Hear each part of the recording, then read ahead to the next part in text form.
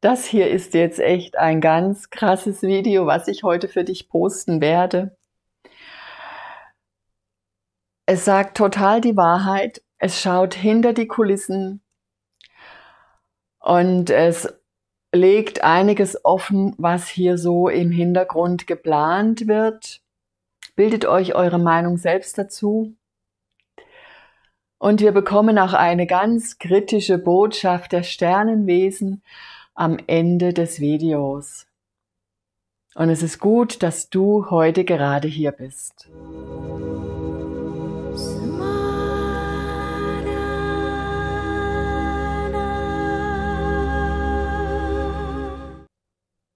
Wer mich noch nicht kennt, mein Name ist Monika Neriana Kardinal und ich habe dieses schöne Buch geschrieben, Kosmisches Wissen von den Plejaden. Wenn dich das interessiert, der Link ist unter dem Video.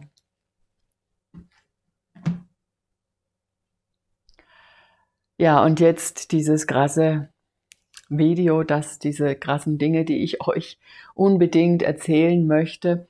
Ich bitte euch als erstes, geht nicht in die Angst, weil Angst stärkt die Gegenseite. Und es gibt einfach ein paar Dinge, die man anschauen sollte, die man kennen sollte, von denen man wissen sollte, um sich vorzubereiten, um was dagegen zu tun. Und das machen wir heute. Das ist mir sehr wichtig, dass ihr das wisst. Es geht hier um dieses kleine Ding da.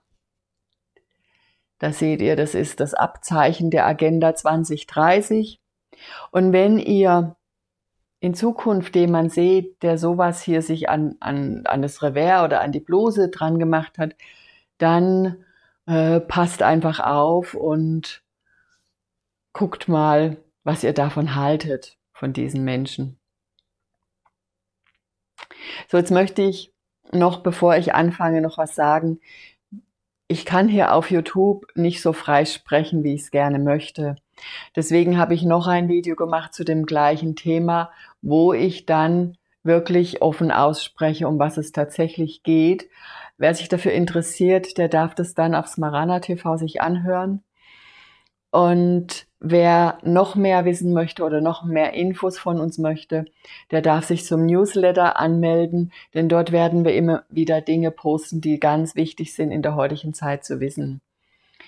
Ähm, ihr geht einfach unten, habe ich den Link reingemacht von der Webseite, geht auf die Webseite und scrollt weiter nach unten. Dort könnt ihr euch anmelden auf dem Button zum Newsletter anmelden und dann bekommt ihr eine E-Mail. Die müsst ihr noch bestätigen, wenn ihr den Newsletter erhalten möchtet, sonst werdet ihr es nicht bekommen. Also zwei Schritte sind zu tun, ihr Lieben. So, und jetzt ähm, die Agenda 2030. Die hat insgesamt 17 Punkte, die bis 2030 verwirklicht werden sollen. Es wurde schon lange angekündigt und es ist seit 2015 vorbereitet und greift jetzt so richtig erstmal seit 2020 bei uns über die Corona-Angst. Und jetzt zusätzlich über die Kriegsgeschehnisse. Da sehen wir, dass irgendwas nicht stimmt, dass unsere Politiker, ob die, man stellt sich die Frage, Machen die wirklich alles für unser Wohl? Also diese Frage dürft ihr euch gern mal stellen. Und dann darf man die auch hinterfragen. Und das habe ich getan. Und deswegen bin ich heute hier für euch. Ähm, ich werde nicht, natürlich nicht alle 17 Punkte äh, besprechen, sondern das, was mir gerade so sehr aufgefallen ist, das ist dieser Social Score. Das ist ein Bewertungssystem, was wahrscheinlich geplant ist. Und in diesem Bewertungssystem bewerten sich die Menschen gegenseitig. Also nicht so, wie wir es kennen, dass man eine Firma bewertet und sagt, die liefern schnell, die haben eine gute Qualität und so weiter, sondern dass sich die Menschen gegenseitig bewerten und dadurch diese ganze Einheit kaputt geht, weil die Menschen alle gegeneinander sind oder oberflächlich sind oberflächlich nach außen ähm, einen guten Eindruck machen möchten, nur um gute Punkte zu bekommen. Also nicht ein, diese Gespräche, die wir so haben, die so tief gehen in die Seele, die so ehrlich sind.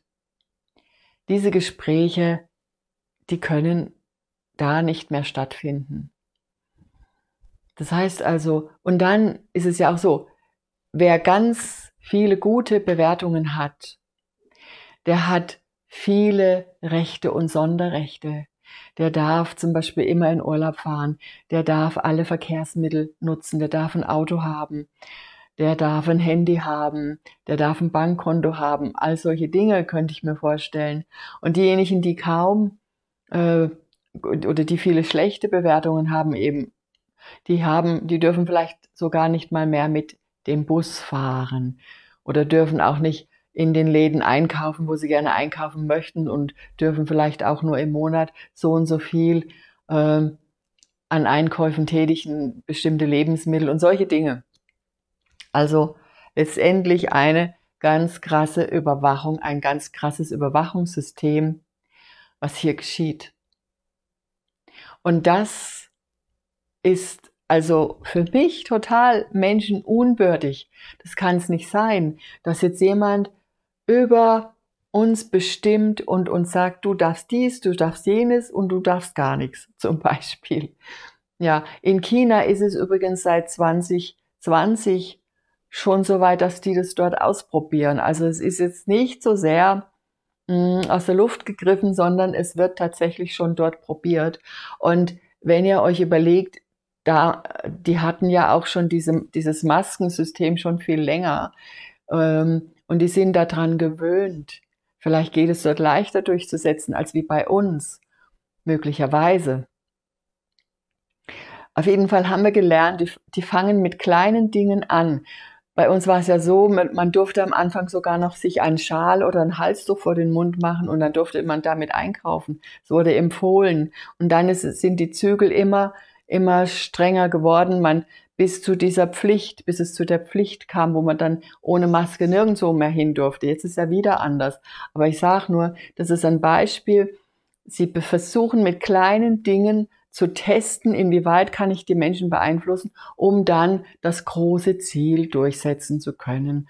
Und leider sind wir gerade in so einer ganz großen Angstphase, wo, wo es das leichter möglich macht als sonst. Schaut euch mal diese Kriegsenergien an, was gerade alles so geschieht. Und es geschieht wirklich Schreckliches, Schreckliches, Unglaubliches. Und was hier dann über dieses Schreckliche mit uns in Deutschland geschieht, mit unserer Wirtschaft, das hat einen Plan, da ist ein Plan dahinter. Man sagt, immer die Entscheidungen, die verstehen wir nicht, die hier in der Politik getroffen werden. Ich verstehe sie nicht. Aber ich werde dir in dem anderen Video erklären, um was es da tatsächlich geht. Das kann ich jetzt hier nicht sagen. Auf jeden Fall könnte ich euch jetzt von mir selbst erzählen. Ich hatte mal eine Firma gehabt mit insgesamt 1000 Beschäftigten das ist jetzt schon wirklich lange her. Und einen kleinen Teil davon auch in Deutschland gehabt von diesen Beschäftigten. Und diese Firma ist Konkurs gegangen. Die ist in Insolvenz gegangen, weil damals, es war an der Bekleidungsindustrie, weil damals plötzlich die Einfuhr von China erlaubt war und dann kamen alles billige Kleider, Klamotten nach Deutschland, überall hin. Und wir konnten dann die Löhne für unsere Beschäftigten nicht mehr bezahlen mit den Preisen, die wir auf dem Markt erreichen konnten, weil die, die waren so niedrig, das ging einfach nicht.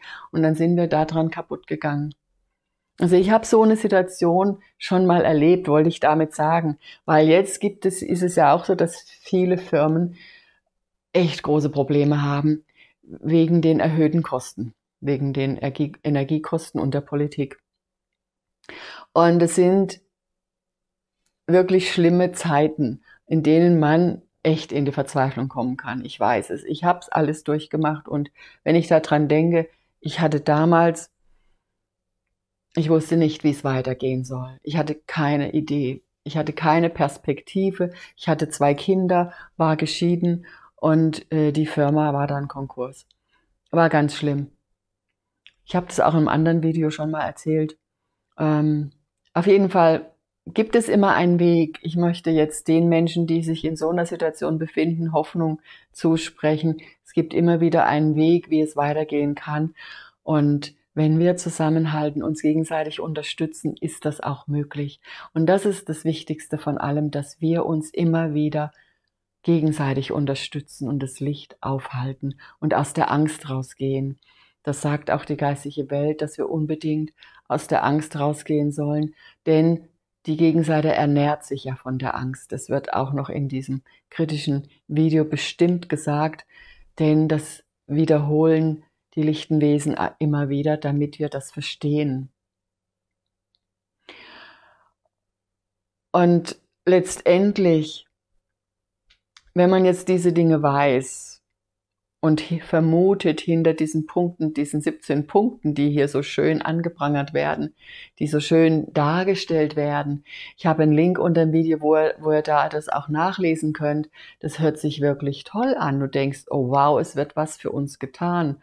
Zum Beispiel gibt es auch einen Punkt, äh, der, ich weiß nicht genau, wer jetzt heißt, da geht es darum, dass jeder Mensch äh, genügend Geld hätte, ja, genügend, äh, das für ihn gesorgt ist ja gut, das finde ich richtig toll. Aber wenn du dir überlegst, jetzt hier in Deutschland werden die Menschen immer ärmer und kommen, kommen un durch die hohen Preise, die können das ja gar nicht mehr bezahlen. Wir alle, wie soll denn das weitergehen? Wie's, wenn, wenn das die Regierung nicht schafft, hier für uns das, uns zu retten. Und dann wollen sie noch die ganze Welt retten. Also das kann ich mir wirklich nicht vorstellen. Und jetzt der digitale Euro, der soll ja kommen. Den haben sie ja sich einfach beschlossen seit 2015 und den möchten sie unbedingt durchsetzen. Wenn wir nur noch digital bezahlen, also nur noch mit Karten, wir sind so kontrollierbar, wir können nichts mehr machen. Wir können nicht mal jemand 20 Euro schenken zum Geburtstag oder so. Das geht dann alles nicht mehr. Du, du bist vollkommen gläsern, der gläserne Mensch, aber wie? Ja. Und das heißt, totale Kontrolle. Nichts ist mehr möglich. Und ich werde in dem anderen Video auch noch sagen, was ihr, wie man sich dagegen ein bisschen wehren kann, auf jeden Fall. Es ist also an uns, das Licht noch mehr zu stärken. Es ist an uns, diese Kraft, die wir jetzt noch von der geistigen Welt, in meinem letzten Video habe ich euch ja erzählt, dass wir bis Ende November ganz viel Unterstützung bekommen. Die sollten wir nutzen, um uns zu stärken, um dann noch mehr ins Erwachen hineinzukommen. Das Erwachen, das ist wichtig für uns und die Gegenseite hat Angst vor erwachten Menschen, weil die eben erwachte Menschen haben keine Angst. Das ist der Punkt. Und deswegen lege ich euch auch nahe, wenn euch dieses Video gefällt und ihr es wichtig findet, teilt das Video, liked es und schreibt mir eure Meinung, eure Kommentare unten drunter, damit YouTube merkt vom Algorithmus, dass es wichtig ist und dass es dann auch noch mehr gezeigt wird. Ja, und jetzt möchte ich gerne noch auf etwas darauf hinweisen. Wir haben letztendlich, sagt die geistige Welt, wir tragen alles in uns, was wir brauchen. Und das ist zum Beispiel unsere eigene Kraft, unser eigenes Wissen und die Quantenverschränkung. Jeder, der sich mit Spiritualität befasst, ist in diesem Thema drin, ob er es möchte oder nicht. Und eigentlich die anderen auch, aber sie haben, die sind da noch nicht so weit. Ich will nur sagen, mit den Techniken der Quantenverschränkung könnten wir, wenn wir es alle zusammen nutzen würden, sofort alles ändern. Und dieses Werkzeug ist uns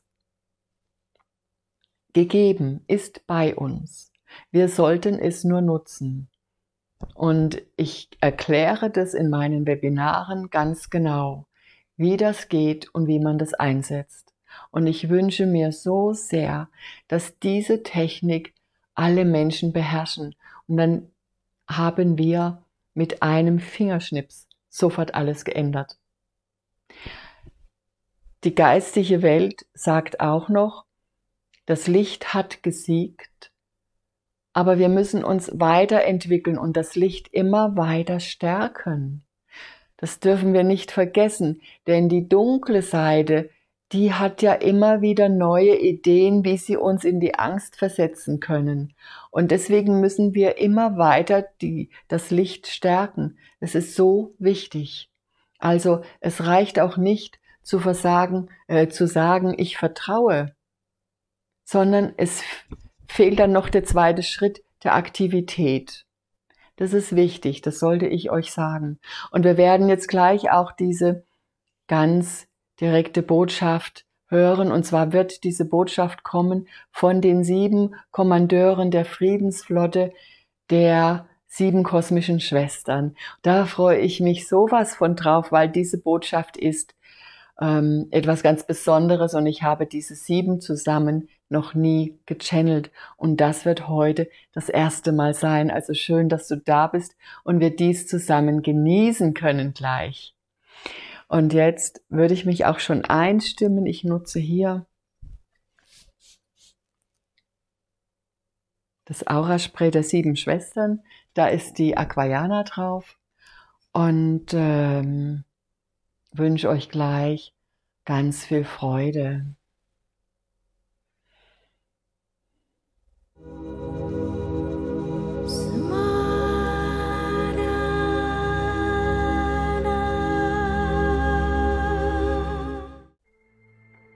Geliebte Menschen der Erde, wir sind die sieben Kommandeure der Friedensflotte der sieben kosmischen Schwestern und wir begrüßen euch voller Liebe und Achtsamkeit mit dem Segen des Lichtes. Liebe Menschen, wir möchten euch sagen, wir sind so stolz auf euch, denn viele von euch haben bereits geschärfte Sinne und verstehen, was im Außen vor sich geht. Viele von euch nehmen jetzt neue Informationen auf und sind bereit, in neue Bewusstseinsebenen vorzudringen. Aber in dieser Botschaft möchten wir euch auch vorbereiten und warnen, dass die neue Weltordnung von der die Gegenseite spricht, nicht das ist, was euch versprochen wird. Wir sind uns sicher, dass die neue Weltordnung nur ein neues Gefängnis für die Menschen sein wird, in welchem sie noch mehr unterdrückt und kontrolliert werden. Diese neue Weltordnung ist nichts anderes als ein Versuch der dunklen Seite, die Menschheit zu unterwerfen, um sie noch besser kontrollieren und ausnützen zu können. Lasst euch nicht von den falschen Versprechungen der dunklen Seite täuschen. Sie möchten unbedingt euer Bewusstsein manipulieren damit ihr nicht erwachen könnt. Denn sie haben Angst vor erwachten Menschen, weil sie über diese keine Kontrolle haben. Sie haben große Angst, dass immer mehr Menschen aufwachen und ihre Machenschaften durchschauen denn dann wären sie verloren und müssten sich um ihr Karma kümmern. Bitte nehmt diese Botschaft ernst und stärkt das Licht. Erwachet alle, bevor es zu spät ist. Wir wissen, dass viele von euch bereits erwacht sind. Und wir wissen auch, dass es immer neue Erwachensschritte geht, die ihr gehen werdet.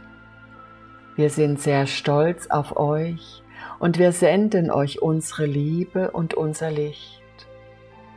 Wir werden euch so gut helfen, wie wir können und wir vertrauen auf euer Potenzial.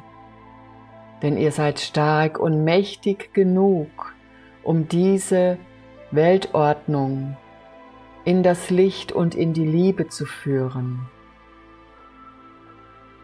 Und wir sind auch sicher, dass immer mehr Menschen aufwachen werden und erkennen, was vor sich geht. Dennoch rufen wir im Namen aller Sternenfreunde alle Menschen auf, zu verhindern, was hier geplant ist. Wir rufen euch auf, euch zu erheben und für eure Freiheit und die Freiheit aller anderen Menschen auf der Erde einzustehen. Wir wissen, dass ihr dies schaffen könnt, weil ihr stark und mutig seid. Ihr habt so viel Kraft in euch, mehr als ihr euch vorstellen könnt. Also werdet aktiv und nehmt euer Schicksal selbst in die Hand. Wir glauben an euch. Wir lieben euch sehr und sind bei euch. Doch den Weg des Erwachens, den müsst ihr alleine gehen. Den können wir euch nicht abnehmen, denn ihr tragt die Entscheidung des freien Willens. Und so gibt es noch auf der Erde etwas Wichtiges, was ihr wissen solltet. Es gibt Hybridwesen, die halb Reptil und halb Menschen sind.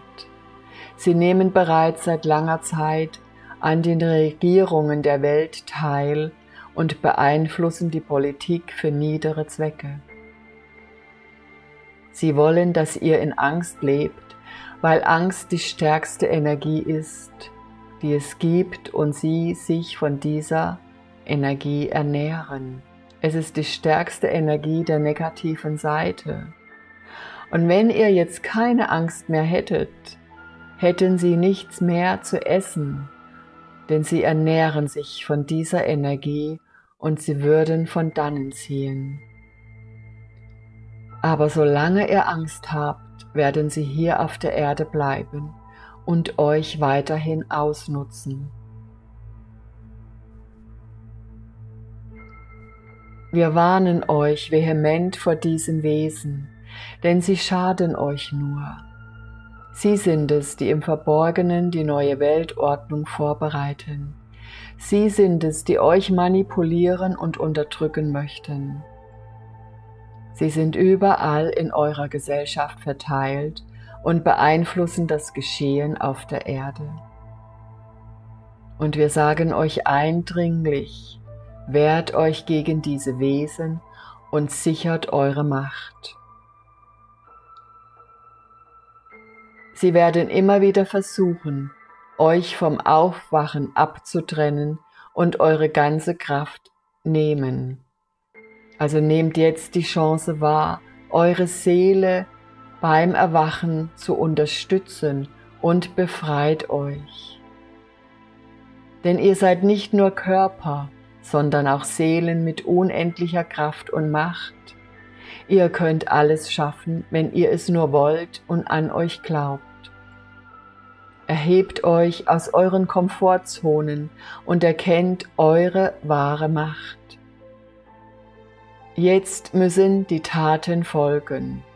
Ihr seid stark, mutig und ihr könnt euer Schicksal selbst bestimmen. Wir, die Sternenwesen, stehen hinter euch und senden euch unsere Liebe und unser Licht. Nutzt diese Zeit der Wandlung für das Licht und lasst euch nicht hinter das Licht führen. Ihr könnt alles noch zum Guten wenden. Wir rufen euch alle auf, für das Licht der Wahrheit einzustehen und wir werden euch unterstützen, so gut wir können. Aber es ist eure Aufgabe, selbst ins Erwachen zu gehen und die neue Weltordnung zu verhindern. Es ist eure Aufgabe, jetzt zu handeln und den Weg für eine neue, bessere Welt in Liebe und Licht zu ebnen. und ihr werdet es sehr gut schaffen. Und durch euch wird die Erde aufsteigen. Wir wissen, dass ihr dies könnt, denn deswegen seid ihr jetzt in dieser Zeit inkarniert. Die Sternenwesen sind sehr stolz auf euch und wir lieben euch. Bitte vertraut auf eure Kraft. Ihr könnt alles schaffen, wenn ihr es wirklich möchtet. Und so senden wir euch den Segen des Lichtes zum Abschied, denn wir gehen jetzt in Frieden im Licht und sind dennoch in eurer Nähe um euch immer wieder zu unterstützen.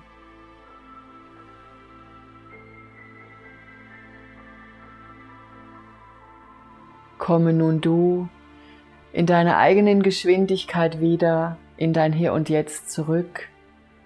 Bewege Hände und Füße und sei wieder ganz da.